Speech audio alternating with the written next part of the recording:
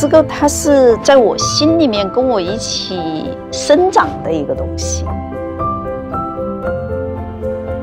Et j'étais entouré seulement de- d'un univers sonore où j'ai perdu ma langue. أنني رجعت للمرة الثانية كسفير للجزائر لدى جمهورية الصين الشعبية بيجين أكاد أعدها عاصمتي الثانية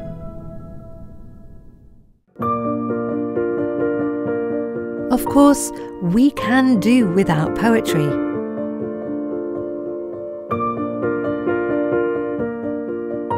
But then life without poetry would be nothing but nature without beauty, history without romance, spring arriving without any signs of hope, summertime gone too soon, nostalgia with no memory, and words with no significance.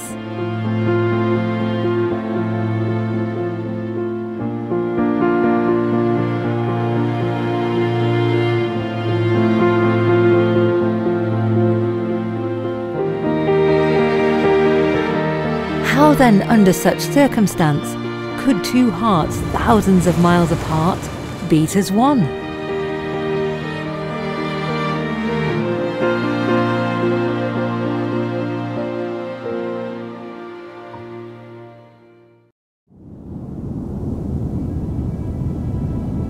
I come from hundreds of thousands of mountains and will go back to where I am from.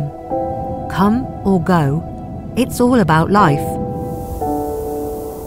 Walking through those old paths, it seems to remind people of a forgotten poem. Entering the courtyard, there is a flock of familiar birds flying in the sky. What is the meaning of coming back if we never leave?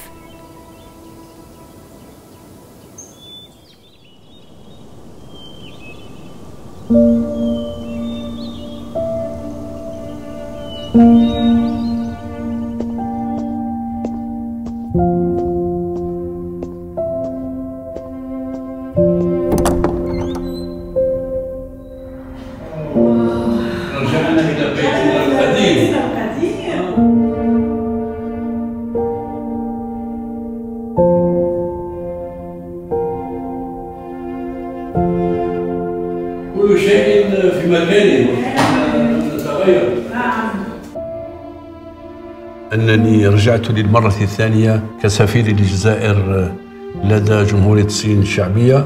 سعادة أولا اللقاء بعديد الأصدقاء الصينيين. وثانيا سعادة عودتي إلى هذا البلد الجميل الذي أعتبره يعني بلدي الثاني.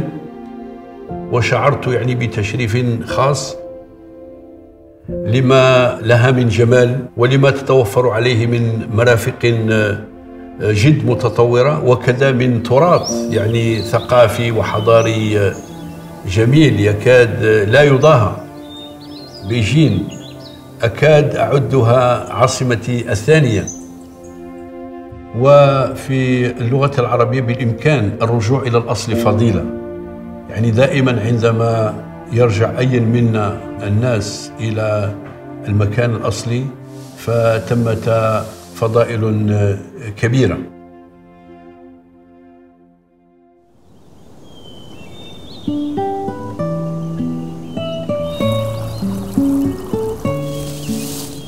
qui règne sur tous les hommes et les femmes. Les Grecs l'appelaient Eros, l'amour.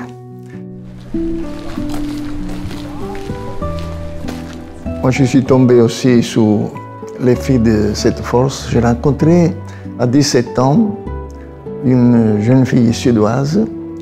Je suis tombé amoureux et j'ai quitté mon pays, l'Italie, et je suis allé vivre avec elle en Norvège. Pour moi, c'était une, une grande aventure, cette histoire d'amour.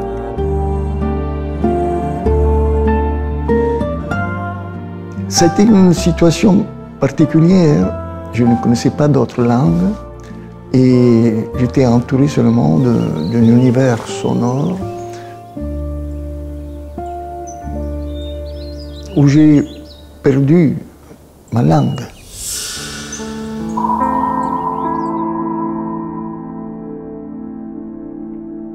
Et perdre la langue, c'est en partie perdre aussi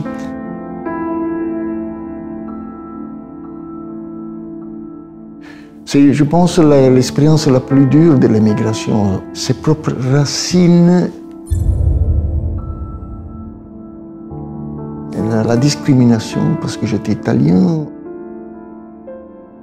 Donc, cette espèce de discrimination envers moi m'a poussé à chercher une solution de comment cacher. On pourrait se mettre un masque. Et ce masque symbolique était le fait d'être ou de devenir un artiste. Et la seule boîte que j'ai vue, c'était celle du théâtre. À ce temps-là, j'étais profondément communiste et j'ai décidé d'aller étudier dans un pays communiste. Donc je suis allé en Pologne.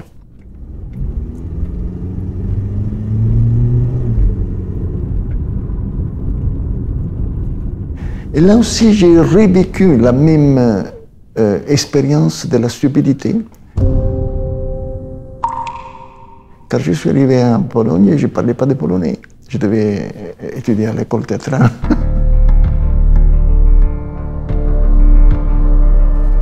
Donc euh, ça aussi a été une période où le théâtre m'a immergé dans une situation de, d'incapacité à comprendre ce qui s'est passé autour de moi.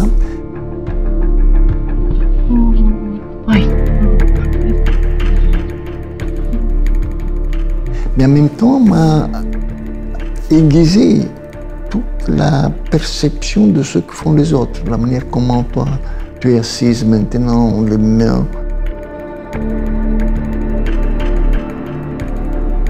Que ne sont pas la ce n'est pas la signification des mots qui décide, mais toute une autre forme sensorielle d'être de, présent qui décide ce que nous ressentons quand nous parlons avec une autre personne. Quand j'ai quitté la Pologne je suis retourné à Norvège, je n'ai pas trouvé de travail traditionnel. Alors j'ai regroupé des jeunes qui avaient été refusés à l'école théâtrale et j'ai créé un théâtre amateur.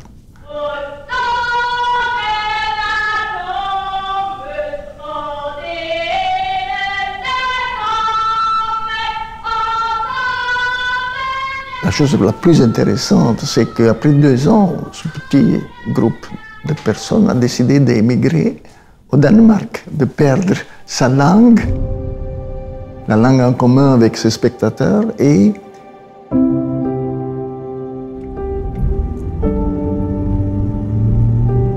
je me suis rendu compte, en me basant sur mes expériences de, que la, véritable communication n'est pas seulement donnée par la signification des mots, mais aussi par la manière comment ils sont dits.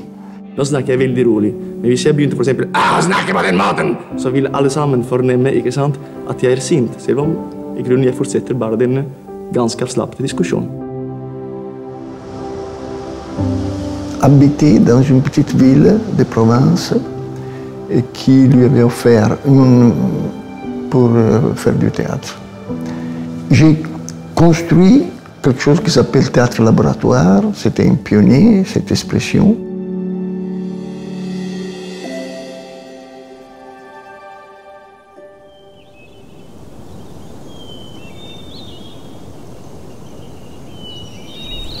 Dès le 1969. La première fois que quand je suis arrivé, naturellement, j'étais ébloui et surtout un peu presque gêné. Je ne comprenais pas pourquoi mon spectacle avait été choisi pour, ce festival des nations. Ça a eu du succès, c'est-à-dire été bien accueilli et de là commence, dirais-je, la, euh, la carrière international de l'ODM. Quand j'ai j'ai euh, fondé une école de, euh, internationale d'anthropologie théâtrale, j'ai- avait des maîtres de différentes traditions théâtrales. Il y a aussi des, maîtres chinois. Moi, quand j'ai quitté l'Italie, le premier choc que j'ai eu, c'était la, la beauté, la richesse de la littérature euh, norvégienne, par exemple. Et ensuite, la découverte des philosophies euh, de l'Inde. Et ensuite, la Chine, avec ses poètes. Chaque culture m'a donné comme la possibilité de déplacer mon horizon et dont, on ne peut plus parler des tradi- traditions européennes, asiatiques, mais au contraire.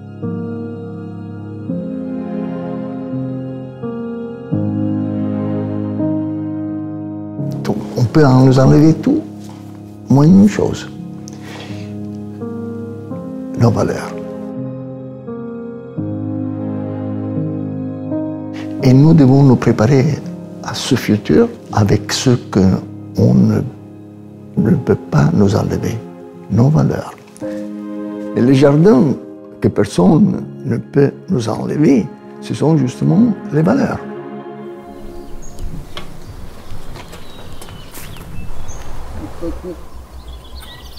Era Torger che ha fondato il teatro nel 64 insieme a me, era norvegese, poi è venuto anche lui qui a Ostebro nel 66, nel 2010 è morto di un cancro.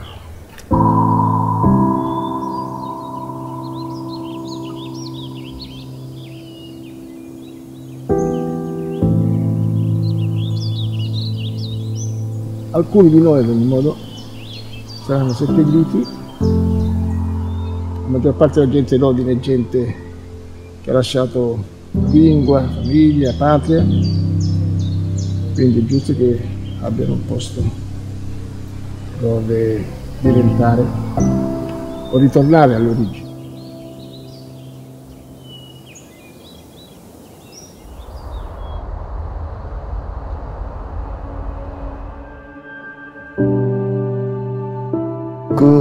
ami en Norvège, dans les années 50, me donna une anthologie de, poésie chinoise.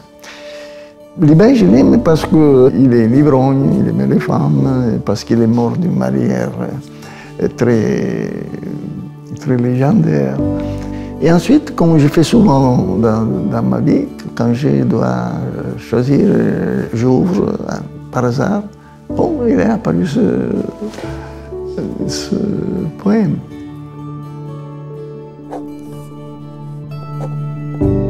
Devant le vin, je n'ai pas vu le soir descendre. Des pétales tombés couvrent ma robe. Ivre, je me lève et marche avec la lune de la rivière. Les oiseaux sont rentrés. Les hommes aussi se font rares. Divertissement.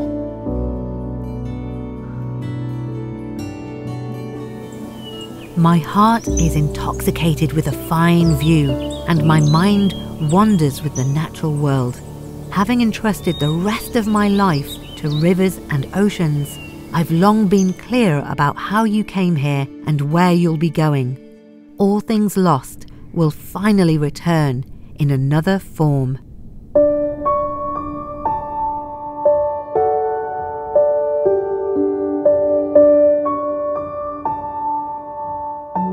三层重庆》，一九三七年，有点太旧。你乘一艘船顺江而上， 你没有到达这儿，那时我还未出生。山城重庆，一江春水向东流。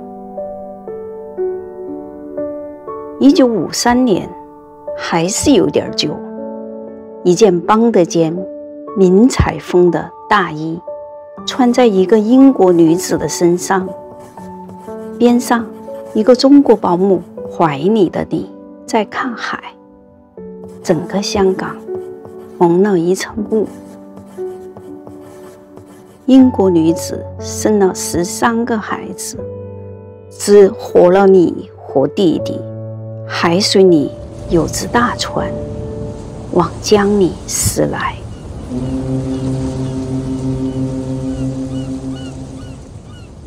你说你很喜欢博尔赫斯，对吧？嗯博尔赫斯对你有什么影响？我认为博尔赫斯、马尔克斯还有艾米丽·狄金森这些人的诗歌，最足迹我灵魂深处的是把自身的命运和他身处的这个时代融为一体，说别人不敢说的话，写别人不敢写的词。词语它就像刀一样的，它也像火一样的，它会凝结出一种力量，它会穿透时间。诗歌它就是一颗心，在那里照耀。像启明星一样。对，一九六二年，真有点旧。山城江边破烂的吊脚楼，一个女孩。昼夜不停的哭叫，与江水的呼吸融合。母亲抱女孩看江上，有艘大船从下游驶来。你在船里，女孩偏过脸来注视我。就是你后期的很多书都是写给色某的，对，因为他到了我的生命当中来了。他一说就是妈妈，你要陪伴我两百岁。我说这怎么可能？但是我可以用别的东西陪伴你，书啊是最好的东西，因为我认为一个人的精神陪伴你是比他的身体陪伴你要有价值的多。这个诗集我是要送给你，因为这个里面都是因你而起。诗歌它是在我心里面跟我一起生长的一个东西，它好像是我对这个世界表达的一个方式，我对文学的理解，还有我对命运的理解，我对这个世界的理解。比如说，我经常会看见一些空白的地方。比如说，空白的江上一艘船也没有，或者是一个空的房间，一个空的街道，我会有无尽的想象，我会觉得我的心好痛，我就觉得我有好多话要对人说，不管这个人是一只鸟，还是真正的人。对于我来说，只要他是一个生命，我就可以跟他倾诉。我认为这个诗意，它就是有美的时候，或者是说你心里面一动的时候，或者是你有眼泪在你的眼睛的时候，当你被感动、被激愤、痛苦的时候，诗它就跑到了你的生命当中。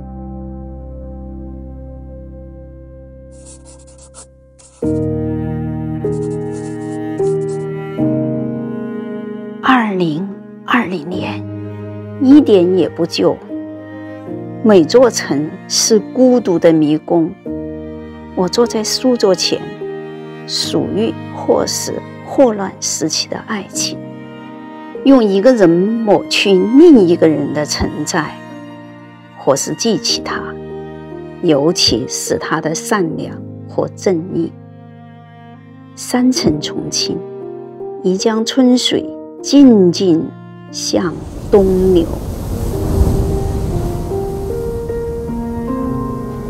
你平时在北京的时候，经常来这条对，我们就是走的特别快，一直走走到这边七棵树那边，大概走五公里吧。那二零二零年你在英国的时候，会想念这条河？啊，对，特别想这一条河，因为这条河上春天的时候全都是樱花。特别漂亮，虽然是冬天了啊，但是也很有一种凋落的美。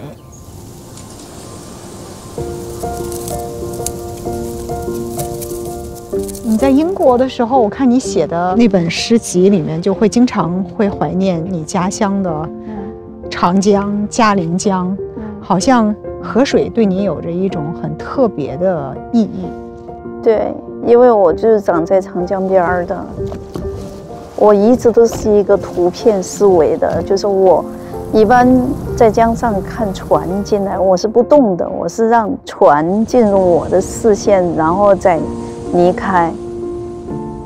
所以，就是有一天我这么看的时候，我爸爸告诉我，他说他也是这样看的。我只要是回到重庆，我一听见这个江水的声音，那个喘息，然后听见这个江上那些船有时候会鸣笛，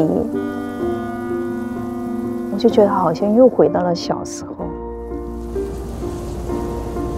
我认为江水它是穿越这个时间的，穿越我们的记忆的。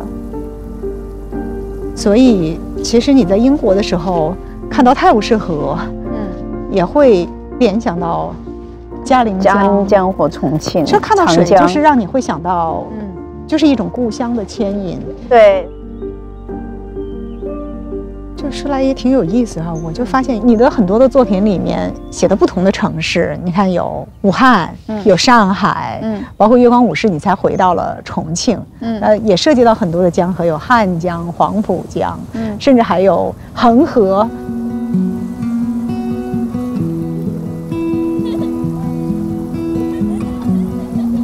其实你最终写的到底是什么？你心里最想表达的是什么？啊，就像。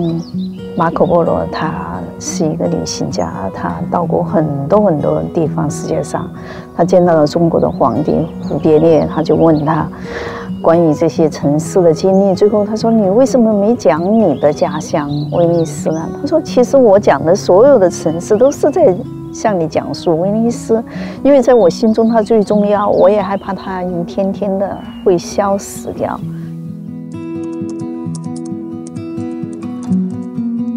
我也有很多写的是纽约、布拉格、伦敦，也写了上海，还有武汉，还有恒河、印度，世界上很多地方。但是我都是为了再来印证重庆。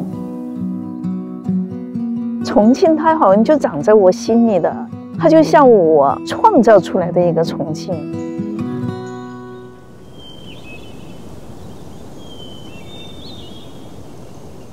من أهم الشعراء الذين أعيرهم في الجزائر يعني تقديرا خاص هو الشاعر مفدي زكريا لأنه هو أولا شاعر الثورة الجزائرية وهو من عظماء ومن فطاحل الشعر العربي. هناك رمزية الرجوع إلى ذلك التاريخ الذي تم فيه رفع العلم الجزائري لأول مرة بصفة رسمية هنا في الصين وكذلك لأول مرة تم سماع بصفة رسمية. ولذلك هناك عودة تحمل رمزية جميلة. وهي رمزية من أسس العلاقة الجميلة والعلاقة الودية والعلاقة الأخوية والعلاقة القوية والتاريخية للصين والجزائر.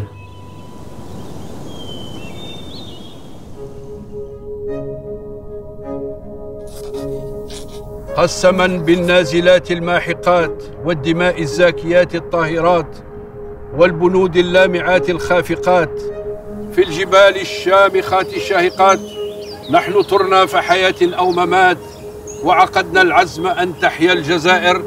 فاشهدوا فاشهدوا فاشهدوا.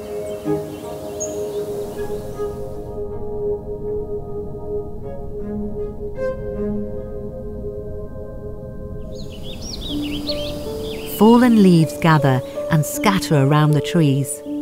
Cold stricken crows soon fall asleep and wake just as soon. Leaving is inevitable during life, and the origin is both near and far.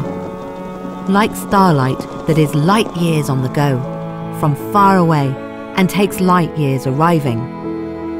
Having travelled thousands of miles, the traveller misses his hometown when he hears an old melody. But then he gets the chance to return in the rain with the scent of plum blossoms. The story is thus becoming more wonderful. To leave means to return someday.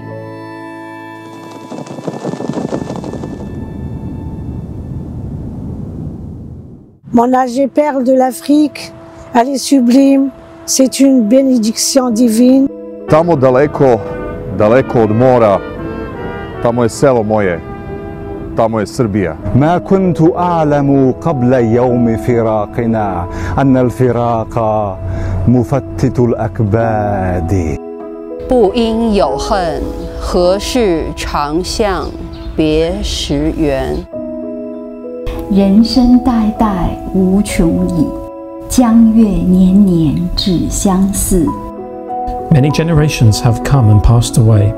From year to year, the moons look alike, old and new. أيها الراكب الميمم أرضي أقر من بعض السلام لبعض Do turns into frost, since tonight the moon viewed at home is more bright. 窗前明月光，疑是地上霜。举头望明月，低头思故乡。